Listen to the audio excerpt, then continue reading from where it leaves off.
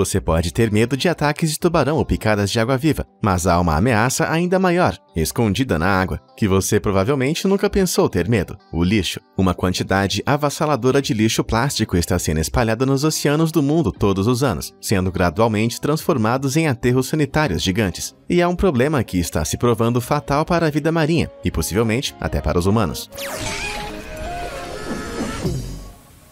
Caso você tenha alguma dúvida sobre a escala absoluta dessa crise ambiental iminente, vamos dar uma olhada rápida em alguns dos números surpreendentes que provam o quanto nossos oceanos precisam ser salvos. De acordo com descobertas publicadas no Science Journal em 2015, de 4,8 a 12,7 milhões de toneladas de plástico entram nos oceanos do mundo a cada ano. A organização australiana sem fins lucrativos de defesa dos oceanos, Five Gyres, também estimou naquele ano que a quantidade de lixo que se acumulou em todo o mundo totalizou cerca de 5,25 trilhões de peças, equivalendo a cerca de 270 mil toneladas métricas, um número que só deve aumentar se as tendências atuais de produção de plástico continuarem. E não são apenas as peças grandes que você pode ver. Cerca de 269 mil estão flutuando na superfície e representam uma ameaça séria. Outro estudo envolvendo a bióloga marinha, doutora Lucy Woodwall, descobriu que cerca de 4 bilhões de fibras microscópicas podem estar espalhando cada quilômetro quadrado de sedimento do fundo do mar em todo o mundo, algo que não tinha sido documentado anteriormente na literatura científica. Em 2016, um relatório particularmente contundente do Fórum Econômico Mundial e da Ellen MacArthur Foundation estimou que em 2050 nossos oceanos vão conter mais plástico por peso do que peixes. À medida que essa realidade aterrorizante se aproxima, é hora de nos perguntarmos: é tarde demais para salvar nossos mares? O processo de contar e estimar a vastidão do lixo oceânico é meticuloso e demorado. Marcus Eriksen,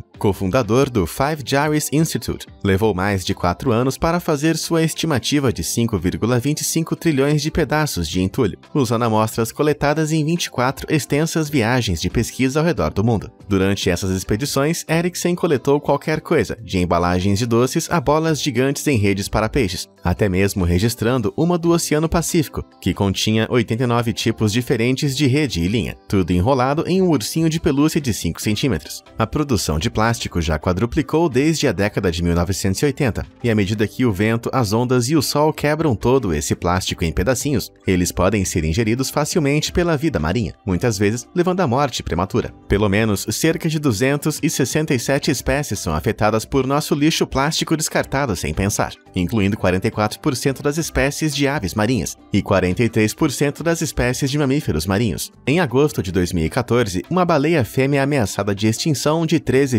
1,71 metros, foi morta depois de ingerir um pedaço quebrado de uma caixa de DVD, algo que seria totalmente evitável. Uma das espécies mais afetadas, no entanto, são as tartarugas marinhas, adoradas no mundo todo, com assombrosos 86% de todas as tartarugas marinhas agora sofrendo muito, graças à poluição cada vez maior por plástico. De acordo com o WWF Austrália, pelo menos mil tartarugas morrem a cada ano por ficarem emaranhadas em resíduos de plástico, enquanto 52% de todas as tartarugas marinhas comeram microplásticos depois de confundi-los com comida. Nos últimos anos, você deve ter visto essa foto alarmante circulando na internet. Talvez você possa pensar que se trata de uma terrível montagem em Photoshop, mostrando uma tartaruga em um espartilho feminino vitoriano, mas a realidade é muito mais séria. Na verdade, essa tartaruga inspiradora é conhecida como Mae West, assim chamada em homenagem à estrela de Hollywood de 1930, de temperamento explosivo com o mesmo nome. E ela é a prova viva de como um pequeno pedaço de plástico pode ter impactos desastrosos. This turtle got caught in a milk jug ring,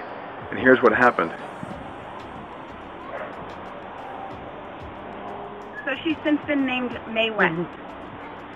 Em 2007, os cofundadores do Five Gyres Institute, Marcus Erickson e sua esposa Anna Cummings, conheceram essa tartaruga jacaré especial que vivia no quintal do tratador Debbie Pearson, em Louisiana. Cerca de 19 anos atrás, como um pequeno filhote, Mae West nadou por um anel de caixinha de leite de plástico que ficou preso ao redor de sua barriga. Como os plásticos são projetados para durar para sempre, seu corpo foi forçado a crescer ao redor dele, o que resultou nessa forma incomum de ampulheta. Mesmo depois que o anel foi cortado, o dano causado a Mae West continuou irreversível. Sua espinha dorsal nunca cresceu normalmente, o que significa que ela seria capaz de se flexionar ao meio, mas isso não a impediu até agora. Depois que Mae West foi descoberta e resgatada dos canais de drenagem de Nova Orleans em 2007, Pearson cuidou até que Marcos e Ana decidiram mudá-la para algum lugar onde ela pudesse compartilhar sua incrível história com o público. Her name is Mae West, because of her skinny waist. And now she's going to the Star Eco Station in Los Angeles. This beautiful turtle has a new home. And this is why we do what we do. Because all those poorly designed plastics, they have an impact on other life. They can, they can cause lots of suffering to people on the planet.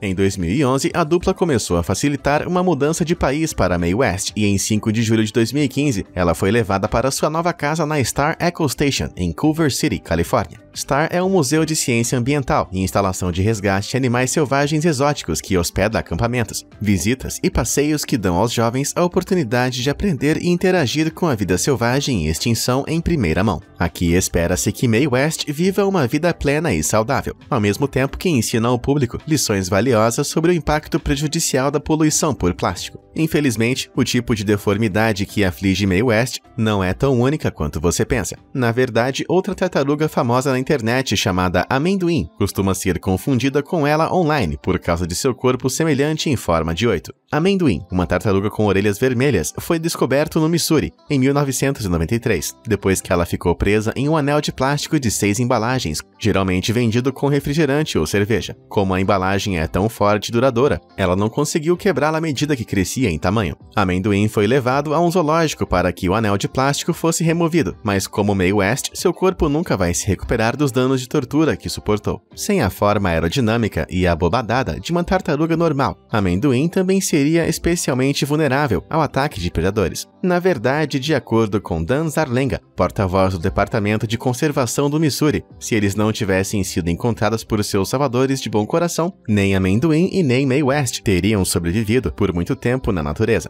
Certamente, casos trágicos como esses deveriam ser suficientes para provar que um material tão duradouro quanto o plástico não deve ser usado como embalagens e produtos descartáveis. E, no entanto, continuamos a produzir mais de 300 milhões de toneladas de plástico a cada ano, 50% das quais são para uso único. Itens como garrafas plásticas, sacolas e caixas são usados por alguns momentos rápidos, antes de serem deixados no planeta por pelo menos 400 anos. Um dos produtos de plástico sem o qual as pessoas certamente poderiam viver são os canudos, que causam muito mais danos do que você realmente pode imaginar enquanto toma sua bebida favorita. Um estudo publicado em 2018 descobriu que até 8,3 bilhões de canudos agora poluem as praias do mundo, enquanto cerca de 500 milhões são usados apenas nos Estados Unidos todos os dias. Pode ser difícil imaginar as repercussões de jogar fora um único canudo, mas essa tartaruga infeliz deve ser o suficiente para fazer você pensar duas vezes. Em junho de 2018, a especialista em tartarugas marinhas, Christine Figner, e sua equipe de pesquisa encontraram Olive Ridley, angustiada com um objeto estranho saindo de sua narina durante uma viagem de pesquisa na Costa Rica. No início, eles se preocuparam que isso pudesse ser um sinal de que um verme parasita havia se aderido ao cérebro das tartarugas. À medida que se aproximavam, porém, eles fizeram um pequeno corte e logo perceberam que o objeto estranho era na verdade um canudinho de plástico, que estava alojado dentro do nariz da tartaruga tartaruga, tornando quase impossível respirar. Como a equipe estava a quilômetros da costa e o veterinário mais próximo talvez não estivesse bem equipado para lidar com uma tartaruga marinha, Figner decidiu remover o canudo com cuidado. A equipe usou um alicate e um canivete suíço, as únicas ferramentas disponíveis, para extrair o canudo de plástico de 10 a 12 centímetros de comprimento, e em seguida desinfetar a passagem de ar da tartaruga, antes de soltá-la de volta à natureza. Figner acredita que a tartaruga deve ter engolido o canudo por acidente, enquanto ingeria outros alimentos naturais. Em um esforço para se livrar do objeto estranho, a tartaruga então ou expeliu o canudo com a água do mar pelas narinas ou a regurgitou, fazendo com que ela acabasse na passagem errada. Se Figner e sua equipe não tivessem visto essa tartaruga lutando naquele dia, provavelmente teria sido mais uma estatística provando o quão fatal algo aparentemente tão inofensivo quanto um canudo pode ser. Agora que vimos quanto dano a poluição do plástico está causando na vida marinha, vamos nos perguntar o que podemos fazer para mudar nossos hábitos, antes que seja muito tarde. De acordo com a Agência Científica Nacional da Austrália, CSIRO, Cerca de 80% do plástico oceânico não vem de fontes marinhas, como equipamentos de pesca descartados, mas do lixo da praia, como embalagens de plástico que vão parar no mar ou são carregados rio abaixo. Não há razão para que um único item descartável, como um anel de embalagem de leite, deva ser feito de um material projetado para durar para sempre. Então, é hora das grandes empresas se apresentarem e pensarem em alternativas.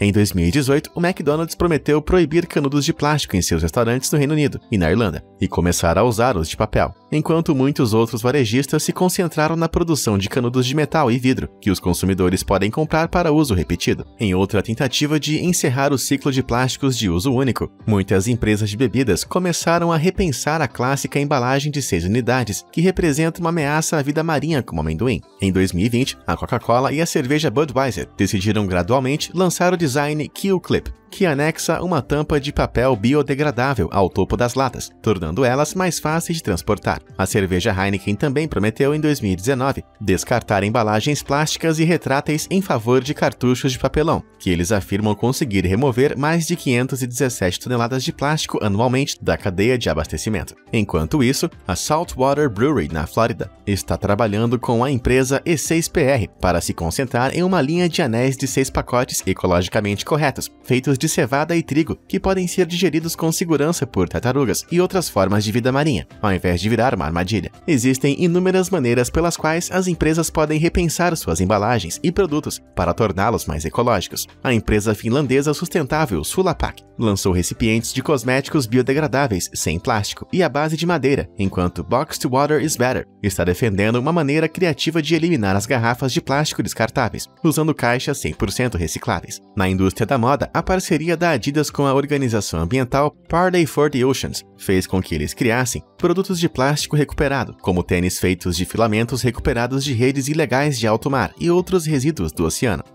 março de 2019 viu um grande passo na direção certa quando a União Europeia selou a proibição de todos os plásticos de uso único até 2021. Felizmente, o resto do mundo não vai ficar muito atrás. Embora essas novas legislações sejam realmente promissoras, em última análise, cabe a cada um de nós fazer mudanças simples em nosso estilo de vida, que vão percorrer um longo caminho. Em primeiro lugar, isso significa fazer um esforço consciente para reduzir o consumo de plástico descartável. Tente retirar qualquer plástico descartável que você realmente não precise precise, como canudinhos, recipientes para viagem e garrafas de água, e carregue versões reutilizáveis em seu lugar. Em alguns cafés pelas ruas, você pode até obter recompensas ou descontos especiais por trazer sua própria xícara. A primeira análise global de todos os plásticos, publicada na revista Science Advances em 2018, revelou que apenas 9% do plástico é reciclado em todo o mundo, enquanto a grande maioria se acumula em aterros sanitários e no oceano. Se não tivermos cuidado, a quantidade de plástico que entra em nossos oceanos vai continuar a aumentar em uma taxa alarmante, até que seja muito tarde. Isso significa que a escolha de materiais recicláveis é mais importante do que nunca para reduzir a quantidade de novos plásticos em circulação, o que os manterá fora da água.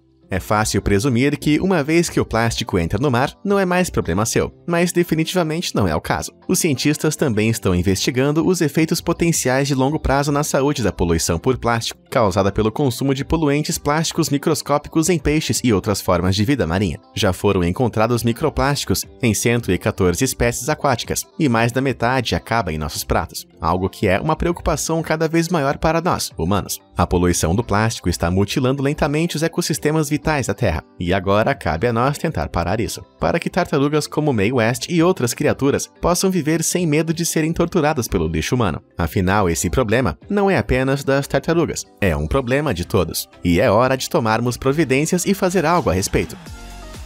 E você, estava ciente do quão prejudicial a poluição do plástico é para nossos oceanos e o que você acha que podemos fazer para ajudar a virar o jogo? Conta aí nos comentários. Obrigado por assistir e até a próxima.